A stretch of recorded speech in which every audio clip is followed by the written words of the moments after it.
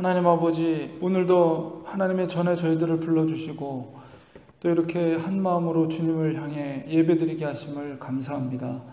저희들 이 아침에 올려드리는 예배를 주님께서 기뻐 받아 주시옵소서. 또 저희들이 하나님 앞에 간구하는 기도의 제목들이 있습니다. 하나님 저희들 개인적인 문제, 또 가정의 문제, 또 교회와 나라와 모든 여러 가지 기도의 제목마다 하나님 저희들의 간구와 기도를 들어주셔서 응답하게 하시되 가장 좋은 때 응답되는 놀라운 하나님의 은혜를 덧입게 하시고 하나님 앞에 더욱더 감사의 자리에 나아갈 수 있는 우리가 될 수 있도록 하나님 도와주시며 매일매일의 삶 가운데 믿음으로 걸어가는 우리들이 되게 하여 주시옵소서 예수님의 이름으로 기도리옵나이다. 아멘 민수기 18장 21절에서 32절까지 말씀 우리 한 목소리로 같이 읽겠습니다. 내가 이스라엘의 11조를 레위 자손에게 기업으로 다 주어서 그들이 하는 일, 곧 회막에서 하는 일을 감나니 이후로는 이스라엘 자손이 회막에 가까이 하지 말 것이라 죄값으로 죽을까 하노라. 그러나 레위인은 회막에서 봉사하며 자기들의 죄를 담당할 것이요 이스라엘 자손 중에는 기업이 없을 것이니 이는 너희 대대의 영원한 율례라. 이스라엘 자손이 여호와께 거제로 드리는 11조를 레위인에게 기업으로 주었으므로 내가 그들에 대하여 말하기를 이스라엘 자손 중에 기업이 없을 것이라 하였노라.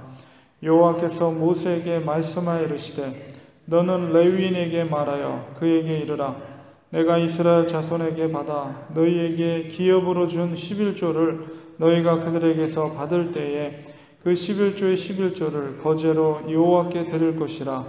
내가 너희의 거제물을 타작마당에서 드리는 곡물과 포도즙 틀에서 드리는 집같이 여기리니 너희는 이스라엘 자손에게서 받는 모든 것의 11조 중에서 여호와께 거제로 드리고 여호와께 드린 그 거제물은 제사장 아론에게로 돌리되 너희가 받은 모든 헌물 중에서 너희는 그 아름다운 것 곧 거룩하게 한 부분을 가져다가 여호와께 거제로 들을지니라.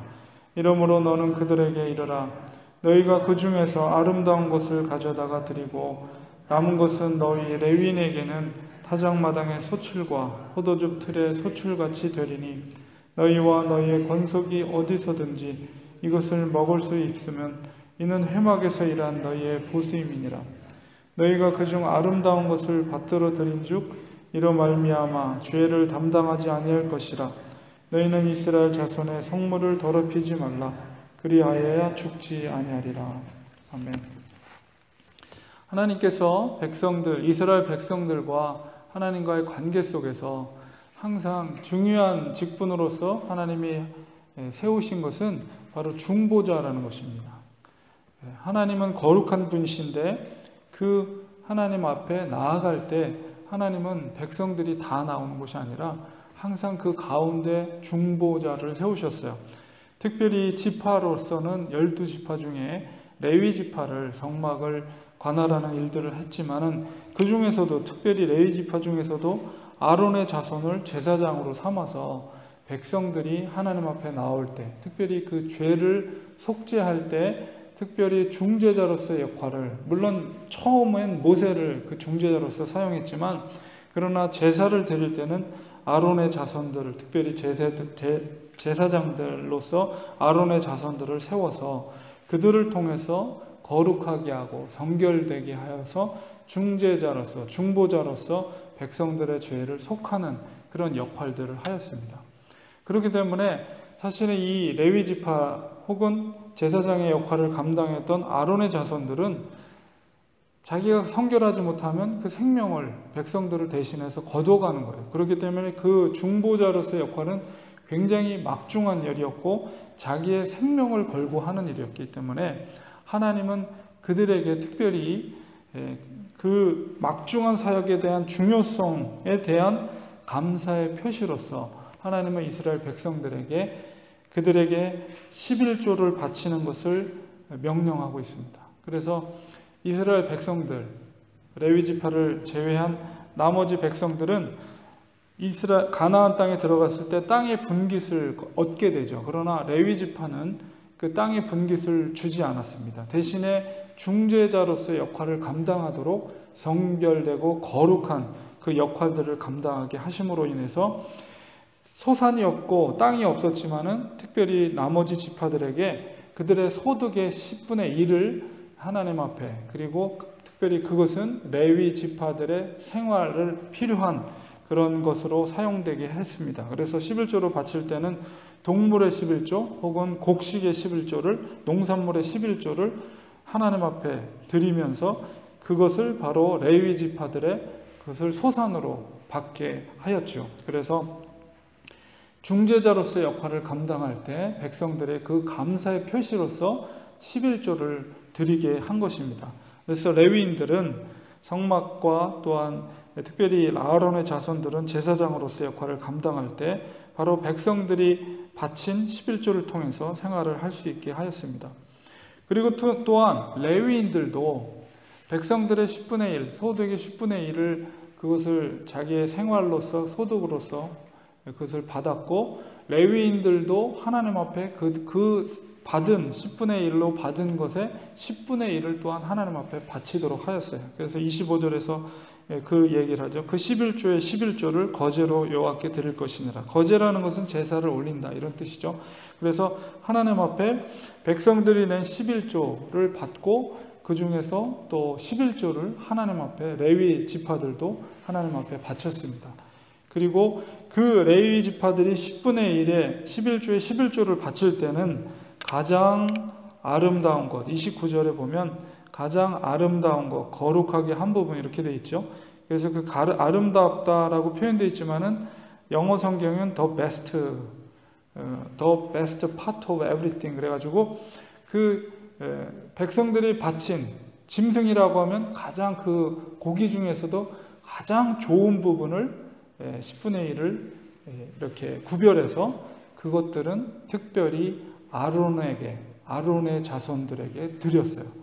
그리고 이제 물론 곡식들도 가장 잘 익은 곡식들 그 10분의 1을 레위 지파가 받은 10분의 1의 11조의 11조를 레, 아론의 자손들에게 바쳤습니다. 그래서 이런 원리들 속에서 이런 원리들 속에서 바로 우리가 물론 이거 이것이 구약의 이런 11조의 원리들이 뭐 오늘날의 교회 생활에서 정확하게 일치하진 않지만 그러나 그 정신과 그 원칙은 동일해서 우리가 교회에서 교회 하나님 앞에 11조를 드릴 때는 이런 태도 그리고 우리가 목회자라든가 사역자들에게 그런 것을 바칠 때는 예, 가장 좋은 것으로 이렇게 대접을 하는 것이 바로 이 구약적인 원리 속에서 되어지는 것이고 그래서 우리가 하나님 앞에 드릴 때는 가장 좋은 것으로 드리는 원리가 바로 이런 원리 속에서 드려지는 것이죠. 그래서 교회에서는 사실은 교회의 어떤 헌물, 헌물이나 이런 것들을 살 때는 정말 가장 그 형편에 있어서 가장 좋은 것을 하나님께 바쳐야 됩니다. 그래서 우리가 우리가 가정에서 쓰는 거는 좋은 걸 쓰면서 교회에다 바치는 것은 그냥 뭐 쓰다 남는 거를 드린다거나 아니면 헌 것을 드린다거나 이런 태도는 이 구약적인 원리 속에서는 맞지가 않는 거예요. 그래서 하나님 앞에 바쳐지는 것은 가장 좋은 것으로 내가 할 수 있는 것에서 가장 좋은 것으로 하나님 앞에 드리는 것이고 특별히 아론의 자손들이 받아서 생활하는 그 생활 생활에 받는 것들은 특별히 레위인들이 받은 11조 중에서 가장 좋은 부분의 11조를 하나님 앞 그 아론 자손들에게 이렇게 바쳐진 것을 보게 됩니다.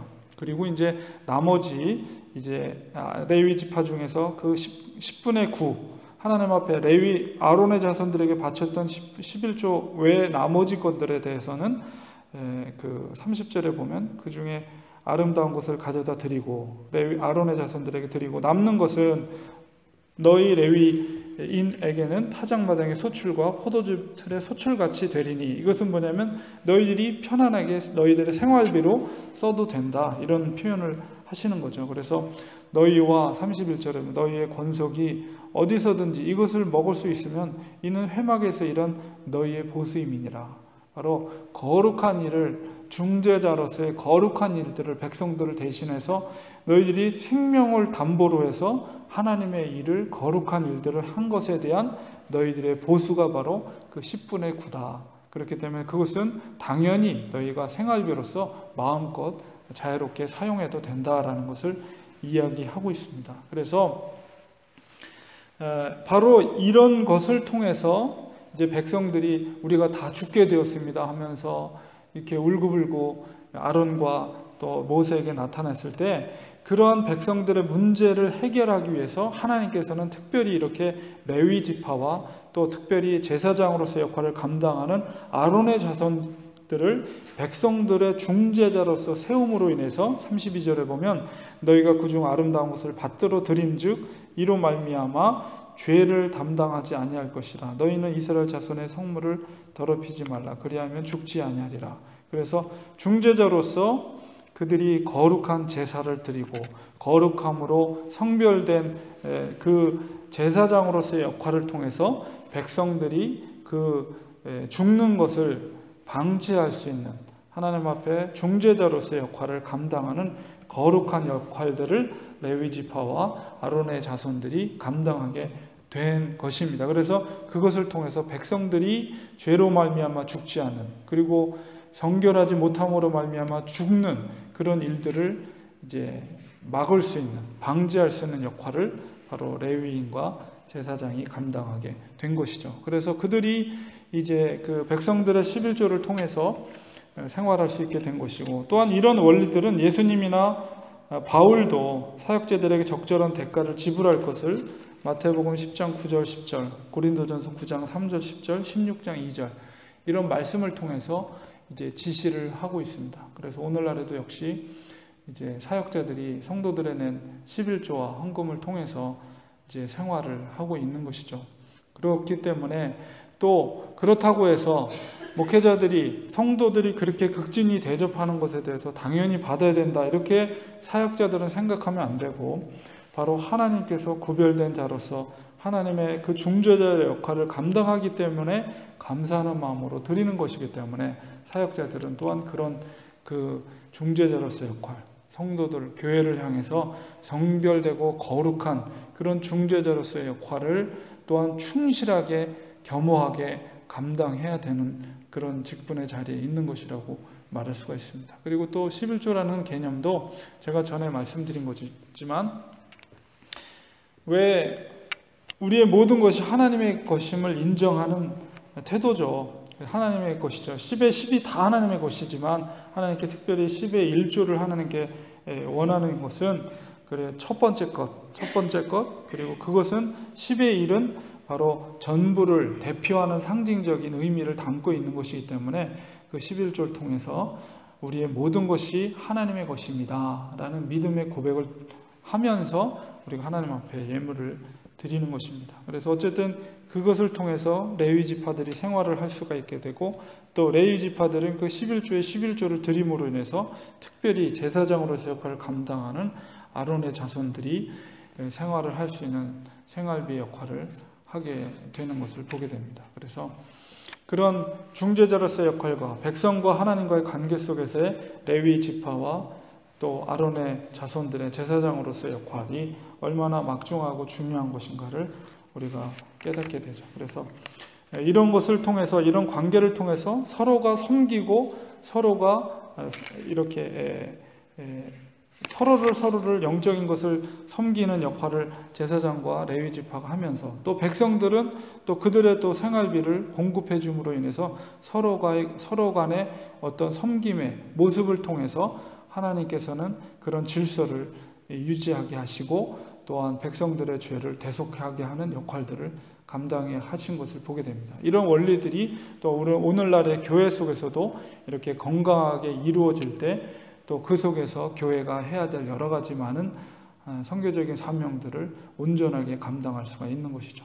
그래서 사실 우리 교회가 재정적으로 많이 어렵고 힘든 상황 속에 있습니다. 그러나 이런 과정들을 우리 성도들이 한 마음으로 잘 이 시간을, 이 기간을, 이 시기를 우리가 잘 감당하면 하나님께서 우리 교회를 통해서 일하실 일들 또, 또 목회자들이 또 감당해야 될 일들 이런 것들이 건강하게 회복이 될 것을 우리가 기대하면서 또 이런 성경적인 구약의 원리들을 우리가 보면서 우리 교회도 이렇게 안정적으로 어떤 재정적인 것들이 안정적으로 회복이 되어서 사실 우리 교회 힘든 것은 사역자들 사례비가 이제 온전하게 이렇게 잘 원활하게 공급이 되지 않는 문제가 가장 큰 문제죠. 그래서 이제 사역자들이 이렇게 원활하게 제때제때 생활비를 받지 못해서 어려움을 당하는 상황이긴 하지만은 그러나 아, 앞으로는 계속 좋아질 거라는 소망을 갖습니다. 그래서 우리 교회가